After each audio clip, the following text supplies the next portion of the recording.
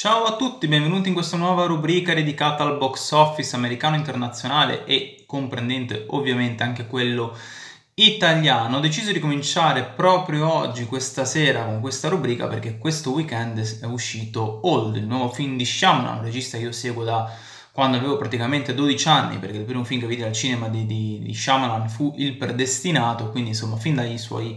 primissimi film, primissimi lavori, quindi ho sempre seguito non solo i film ma anche l'andamento al box office, un regista che ha sempre realizzato film che nel bene o nel male hanno sempre incassato cifre interessanti, ma eh, se proprio dovessimo andare a giudicare questa filmografia di questo regista in base al flop, quindi costi e ricavi, l'unico vero proprio flop della carriera è stato Lady in the Water che incassò circa 70 milioni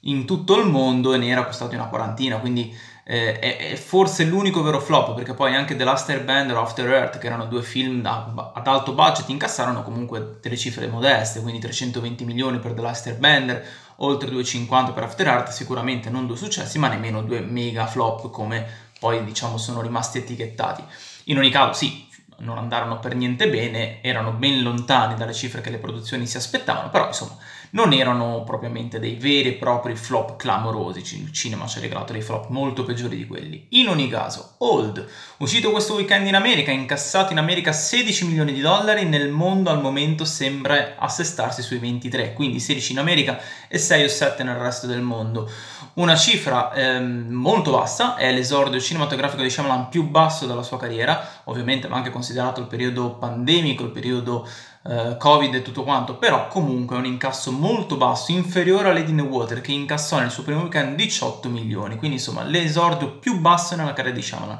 Bisogna vedere se nelle prossime settimane questo film regge o se invece crollerà. Shyamalan di solito ha sempre avuto dei grandi esordi, penso ai 40 milioni di Science, anzi 60 milioni di Science, ai 40 milioni di Split Glass, ma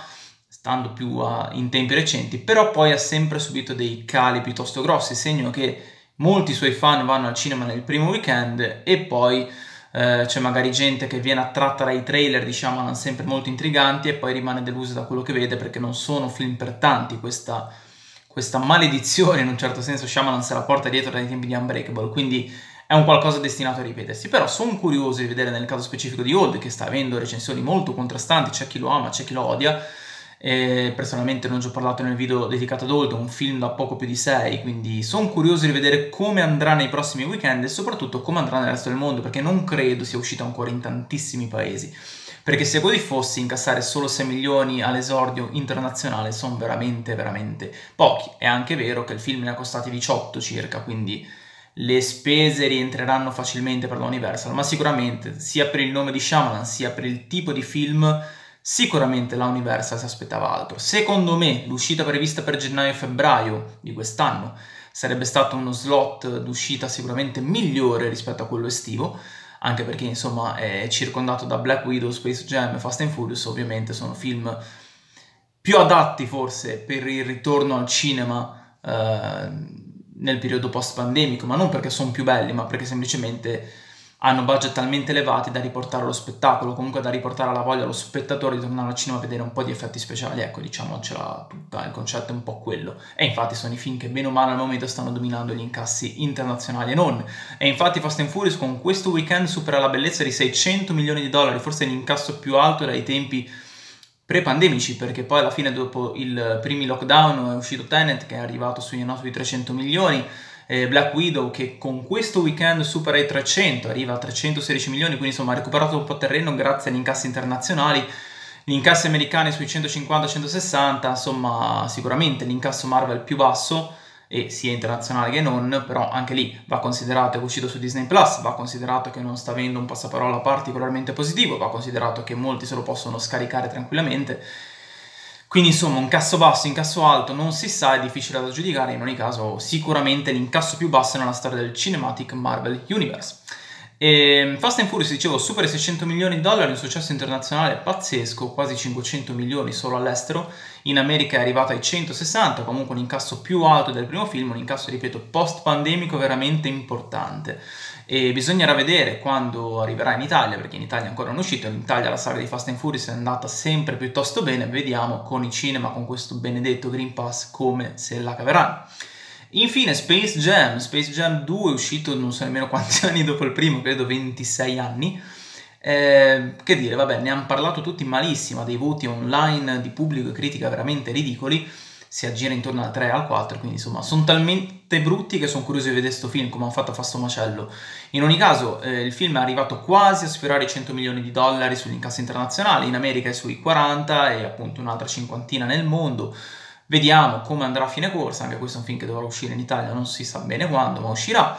eh, lontani gli incassi del primo film al momento, però insomma bisogna vedere anche qui cosa succederà, anche perché Space Jam credo sia già online anche lui, perché credo faccia parte dell'accordo Warner HBO Max, credo, non ne sono sicurissimo di questo film. Eh, da notare invece come gli incassi post-pandemici migliori ce l'abbia paradossalmente Quiet Place 2. Perché? Perché Quiet Place 1 aveva incassato a fine corsa 190 milioni in America e 350 nel mondo e Quiet Place 2 con la finestra Paramount senza streaming, senza niente, è arrivato a incassare in questo weekend oltre 250 milioni di dollari nel mondo. Segno che sì, sono distanti ancora i, 100, i 350 mondiali, ma in America a 160, quindi sono vicinissimi i 28 milioni in più che aveva al prima fine corsa, quindi sicuramente non arriverà a 190 milioni anche questo, però comunque è un dato molto importante il fatto che gli incassi, nonostante il post pandemico, nonostante molte sale chiuse, nonostante le riduzioni di, di entrate nelle sale, il film ha incassato quasi la medesima cifra del primo film, segno che probabilmente un po' la qualità paga, un po' il passaparola paga ancora, nonostante ovviamente il, le, il, momento storico che stiamo vivendo ha influito ovviamente su tutti gli incassi di questi film. Sarei molto curioso di sapere come sarebbe andato Black Widow senza Disney Plus. Secondo me non sarebbe andato bene come gli altri film Marvel comunque, ma sicuramente avrebbe incassato di più di quello che sta incassando, soprattutto in America, che sembra esserci stato proprio un... non dico un disinteresse, però insomma un, um, un incasso molto più basso. È un film uscito per carità fuori tempo massimo, però... Boh, è curioso questa diminuzione di incassi dall'ultimo film uscito che credo fosse Far From Home, quindi boh, forse questa, questo accumulo di, di, di, di, progetti Marvel, insomma in quattro mesi abbiamo visto WandaVision, Loki, Falcon Winter Soldier, Black Widow, probabilmente non sta aiutando. Tra l'altro, da qua a Natale ne vedremo altri tre, perché ci sarà Shang-Chi, ci sarà Spider-Man 3, ci saranno gli Eterni e ci saranno anche delle serie TV di nuovo. Quindi, boh, che questo genere possa iniziare a stancare, chi lo sa, non credo ancora, però sicuramente potrebbero esserci dei primi segnali di o vi rinnovate oppure ciao è stato bello. Quindi boh, staremo a vedere cosa succederà. In ogni caso, questo video è partito per Old, chiudo di nuovo con Old, mi dispiace un po' per questo incasso basso. Eh, secondo me